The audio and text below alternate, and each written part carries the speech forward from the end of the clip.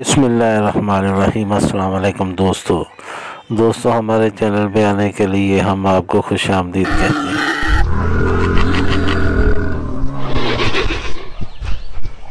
मैं